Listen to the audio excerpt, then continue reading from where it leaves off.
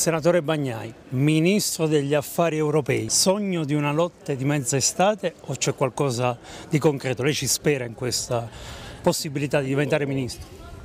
Io ho già espresso in tante sedi, a me, a me affascina questa questo eterno ritorno giornalistico delle stesse domande. Perché Beh, non mi chiede delle se... clausole di salvaguardia? Ah, eh, o non mi chiede, non so, se voglio uscire dall'euro, tipo da solo o in compagnia. cioè, solo, sono sempre va. le stesse domande. E appunto, eh. ecco, sono sempre le stesse no, domande. Però, insomma, ieri è Adesso trapelato si... dal vertice. Salvini ha fatto il suo nome all'interno del vertice per questa, per questo due, prestigioso due, ruolo. Due, Le chiedo solo se lei ci crede. Due rilievi metodologici. Il primo, non voglio che lei lo prenda sul personale, perché è, è, è frutto di un, di un, mio pessimismo radicale rispetto a quello che ha a quello che appare sul mondo dell'informazione. Io eh, eh, esorto i miei lettori, anch'io ne ho in quanto saggista, a sul non blog. credere, beh non solo sul blog, anche su due bestseller, insomma, modestamente, a non credere tanto a quello che vedono scritto e poi le, le, le smentite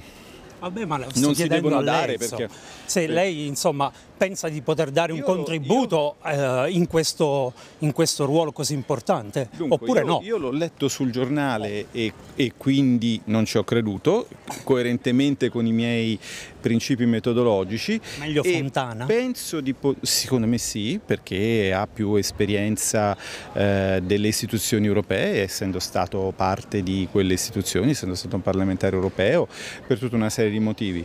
Eh, penso di poter dare un contributo in questa fase, lo sto dando qui in Senato, l'abbiamo visto anche oggi, eh, per esempio abbiamo audito il Ministro, è stata un'audizione molto importante, si può fare molto bene anche dal Parlamento un lavoro sugli affari diciamo cosiddetti europei, insomma dell'Unione Europea.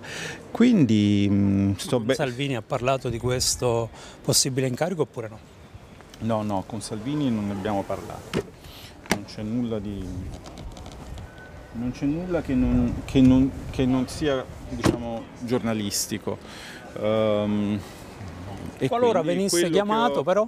Praticamente esorterei quelli che vedono questo video, dopo aver visto questo video, ad andarsi a vedere l'ultima puntata di Mezz'ora in più dall'annunziata dalla dove ho detto esattamente le stesse cose perché la, la situazione è in questo modo e per il resto va tutto bene, ci sono tante caselle del governo che sono rimaste eh, vuote per vari motivi da, da occupare da, perché il governo deve essere nella pienezza del, di tutto il del suo organico, non, non spetta a me eh, fare il ragionamento su cui deve andarci e neanche andarci perché in Commissione Finanze eh, c'è tanto lavoro da fare, eh, abbiamo riforme importanti come quella sulla, sulla governance della Banca d'Italia, abbiamo il lavoro di eh, appunto, gestione degli affari, dei, dei, vari affari europei, cioè delle direttive e dei regolamenti che dobbiamo recepire che ci arrivano dall'Unione Europea. È una fase in cui il lavoro parlamentare è molto molto interessante. Io ovviamente sono onorato che si possa pensare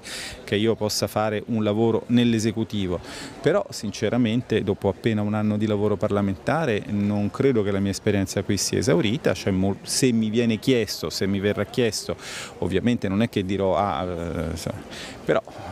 Eh, non dirà no.